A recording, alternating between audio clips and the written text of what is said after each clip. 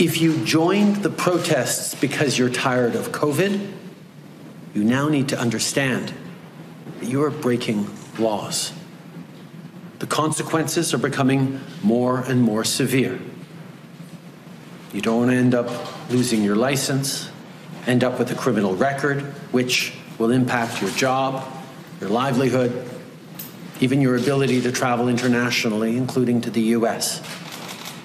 We've heard your frustration with COVID, with the measures that are there to keep people safe.